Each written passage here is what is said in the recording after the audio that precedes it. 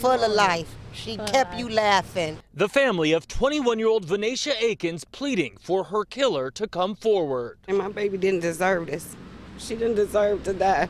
She didn't deserve to get pushed out on no freeway. The pregnant mother left for dead here along I 90 in downtown Cleveland during rush hour Monday night.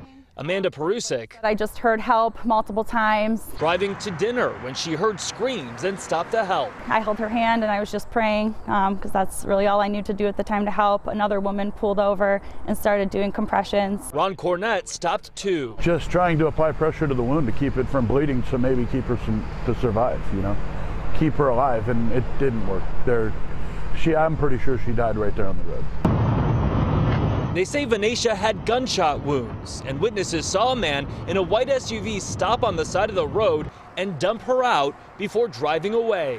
We were all doing everything we possibly could do, and it just nothing. It was to no avail. 505 is when I called. Amanda says she was put on hold by 911, and it took more than five minutes to reach a dispatcher. There was a woman right there who needed help, immediate help, and um, to be put on hold, I was not able to talk to anyone right away it was really disheartening and to me shows that there's that's a big problem.